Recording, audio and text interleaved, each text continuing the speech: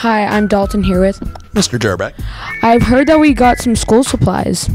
Yeah, we got a huge donation from the 82nd Street Walmart, and um, very, very generous. Uh, we there we're pairing up with them also to do like a CMN campaign, and when they were doing that, they said, "Well, do you need any school supplies?" We've got you know some pallets of extra school supplies. I said, "Sure," and it was just beautiful because things that were out of we already had uh, quite a few like binders and folders, but we had very few like. Uh, uh highlighters, colored markers, uh, colored pencils, which are things that we use in class all the time in just about every classroom in the building.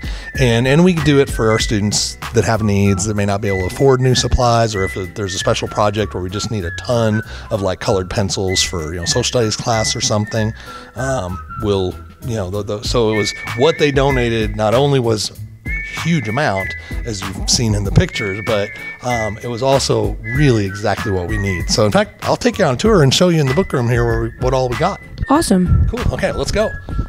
All right. Um, can I take this while I do?